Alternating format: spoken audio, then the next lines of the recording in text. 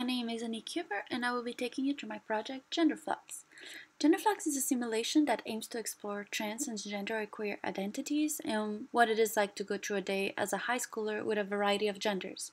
This gender might match the birth gender of the character you have been assigned or might be a different one. I created my simulation using Twine, which is a great tool for interactive storytelling. I will now you take you through a walkthrough of the simulation to show you what a typical scenario might look like. Uh, there is a lot of text as it is a narrative-oriented simulation, so I'll be summarizing most of it. On the first screen, you get to choose a fruit which will assign you with a gender. I chose to do it this way because I don't want the, the interactor to actually choose their gender, but I want them to be able to choose a different one the next time they go through the simulation. So if I choose pineapple, I am female in a male body, so I'm a male to female transgender person. So wake up. Uh, depending on what you're assigned, you get a different option here. So uh, in this case, as a 17 year old boy, identifying as a girl, I am going to shave and I'm going to wear a skirt and a shirt. As you can see, making choices affect the variables at the bottom of the page with our self-expression and anxiety. As uh, what I'm doing matches what I feel, self expression goes up, and if I make decisions that make me socially uncomfortable, my anxiety goes up. So let's go to the kitchen. Here I'm interacting with my father.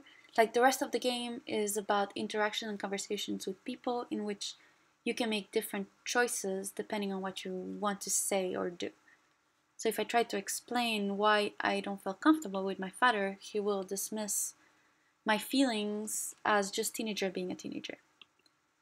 Then I get to interact with a friend, then with a group of friends, and then as I go home, I get a different ending.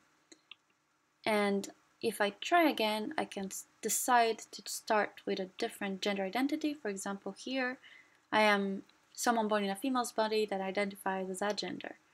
And then I can I get a different option here than before.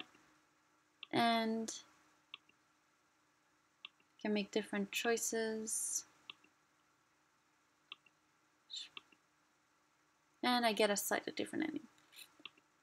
Uh, ultimately, I would like it if I would move away for Twine if I was to move forward with this project and uh, do something that would show early choices in addition to showing what is going on right now.